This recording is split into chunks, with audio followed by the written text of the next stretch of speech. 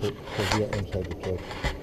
And uh, this was the icon. This is the icon of This icon of Saint George. St. George, and this is the icon of According Jesus. to the legend, he's killing the dragon to save the people. That's why his icon is Okay, like this. You see, okay. if you go closer, you will see this dragon, how he's killing with his sword. Hmm.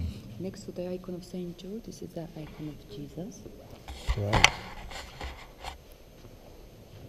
And Next to it, this is the icon of Saint Nino, Nino, the Saint lady Nino. who brought Christianity to Georgia in the 4th century. Okay. Tomorrow we will see her grave. She's buried in one of the monasteries which is located in Kakheti in Bodbe.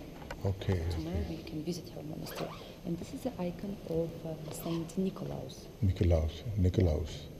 And next to the Saint Nicholas, you can see the crucifixion of Jesus when Jesus was crucified.